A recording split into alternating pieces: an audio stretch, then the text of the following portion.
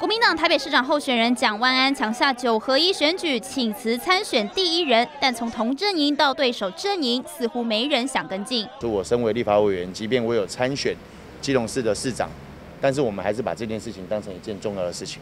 民进党基隆市长候选人蔡适应继续代职参选，强调立委本职还有很多重要工作不能放。民进党团秘书长林喜耀更直言，比起请辞，不如好好打正规战。民进党七位候选人都不会辞去立委职务。每一个候选人他有他自己选战的考量嘛。那我都予以尊重。今年九合一选举总共有十二位立委投入地方县市长选战，民进党七位，国民党三位，民众党两位。民众党桃园市长候选人赖香林早早就声明服务不打烊。近来占据不少版面的新竹市长候选人高虹安也说会把握时间争取认同，言下之意也是继续代职参选。